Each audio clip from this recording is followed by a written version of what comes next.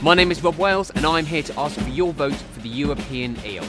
And the old iron, and the old iron, and the, and the, and the old iron. The European eel should win. It's an animal local to me that lives its life in the Thames, and its numbers have dropped by 90% since the 1970s. Actually, much like flared trousers in that respect. It's an amazing journey, travelling 12,000 kilometres over its lifetime. It spawns south of Bermuda and travels on the Gulf Stream 6,000 kilometres to the freshwaters of Europe, where it grows to be the eel that we know and recognise. Here's one dressed as a cockney. Around a decade later, it returns again to the sea to spawn.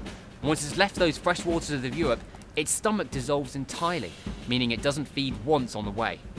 I would definitely need snacks if I took that journey on. Vote for the European eel, so we can have a jolly good Easter knees up in its celebration. Except for the eel, because it's not got any knees. Simon, over to you. The European common eel is now critically endangered, making its name really quite inappropriate. But it's an amazing fish. The longest eel ever found was nearly five feet long. And unlike many other migrating fish, the eels begin their life cycle in the ocean and then spend most of their life in fresh water before returning to the ocean to spawn and die. I've been Rob Wells, and if you want to vote for the European common eel, simply like this video below. And if you want to learn more about other ugly animals, watch one of these videos on the left. But only after you've voted for the eel. So click and then click.